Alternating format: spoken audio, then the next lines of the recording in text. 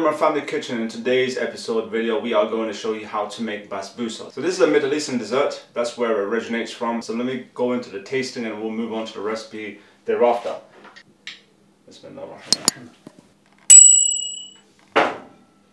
Mmm.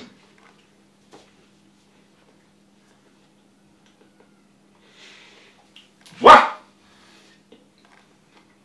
There's a little bit of a coconut flavor to it, a little bit of, or a little hint of rose syrup, and with that, um, we'll move on to the recipe itself.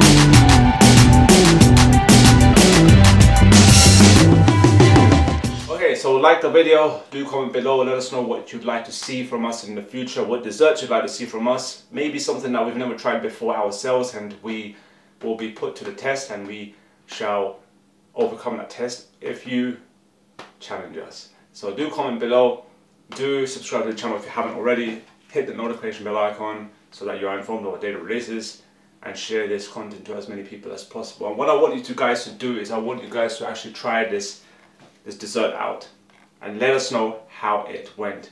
Let us know how easy you found it. Also let us know that you've been watching some of our videos, how easy it is for you to follow these instructions. Do you find it easy to follow these instructions?